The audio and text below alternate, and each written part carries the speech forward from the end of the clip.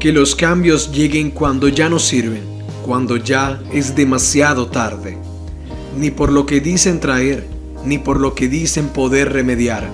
Una auténtica pérdida de energía para los que un día los reclamaron, pero nunca los obtuvieron, y para aquellos que los hicieron cuando ya su validez estaba caducada.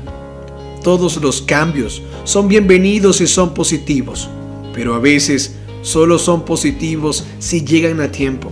Algunos llegan con años de retraso, otros perdieron su oportunidad para remediar algo solo por llegar unas milésimas de segundo tarde. Otros curan tan solo con aparecer y otros tienen que darse con mucha frecuencia para que puedan parecer e intuirse como un verdadero cambio.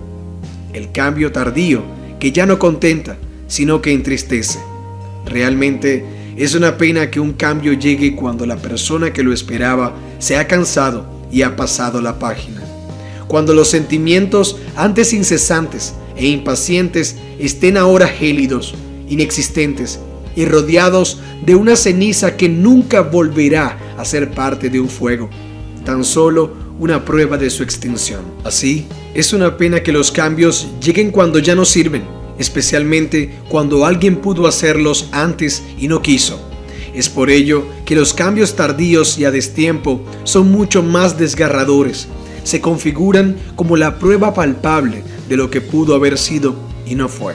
Suponen la certeza de la cruda realidad que un día quisimos poner en suspensión, rodeada de magia y misterio, cuando tan solo había desgana y falta de interés un desapego que utilizamos los seres humanos como una estrategia de protección, pero que a la larga nos hace más frágiles.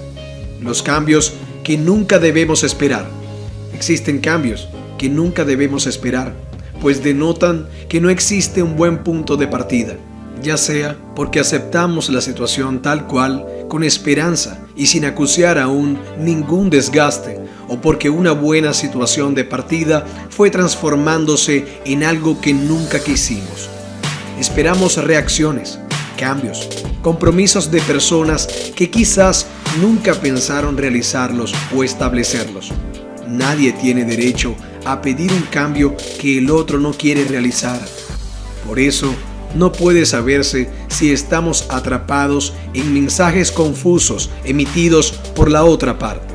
No tenemos derecho a exigir, pero sí a impedir que jueguen con nosotros. El verdadero cambio en esa situación sería empezar a respetarnos a nosotros mismos y a los valores que buscamos en una relación. Tenemos que identificar cuál ha sido nuestro error. Puede haberse dado por unas expectativas demasiado altas, lo que no quita que nos hayan fallado y que hagamos un ejercicio de justicia al señalar dicho error.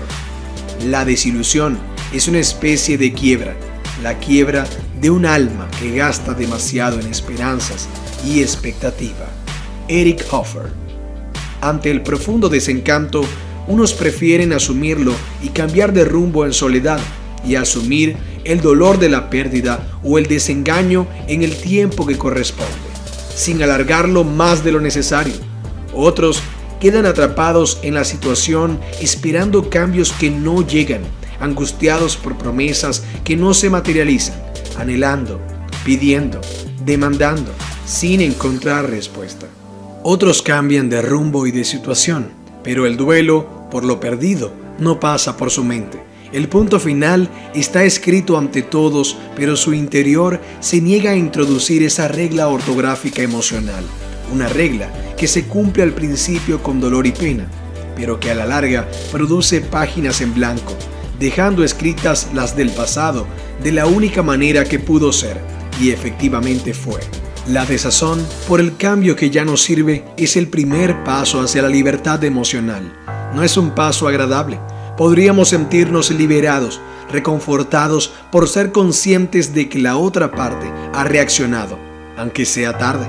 Pero ¿de qué sirve eso si los cambios llegan cuando la pasión se ha secado, cuando las palabras de amor o de amistad nos resuenan como algo ajeno a nuestro corazón, cuando el cambio no produce ya de cielo, siendo una gélida e indiferente respuesta, cuando el cambio no despierta lágrimas de esperanza, sino embotamiento emocional y frialdad. Hay cambios que llegan tarde, tarde a los detalles, tarde al apoyo incondicional en situaciones difíciles, llega tarde al exceso de indiferencia, llega tarde a lo que un día pudo ser, pero que ya no puede ser, sin posibilidad de volver a brotar. Es por eso que debemos luchar por lo que nos importa antes de que aparezcan un sinfín de lo siento y de pedir o suplicar por segundas oportunidades. Hay que hacerlo porque puede llegar el momento en el que la persona que esperaba esos cambios ya no los contempla, ya no los considera como algo que encaje en su vida actual. Hay que cambiar a tiempo, especialmente si queremos evitar hacerlos cuando estos hayan dilapidado todos sus efectos. Los cambios a destiempo son cambios caducos que pertenecen a un terreno desértico del que ya nunca va a volver a brotar la sana locura y pasión de antaño.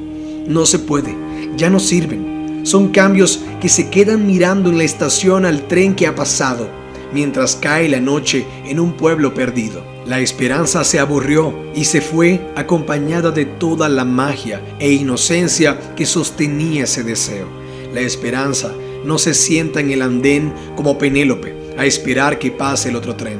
La esperanza toma el tren y se va, se marcha para no volver. Ya de nada nos sirve el cambio que no sea para reconocer lo que por falta de ellos perdimos. Así fue, se fue. De Albert Lennon para ti. Let it be.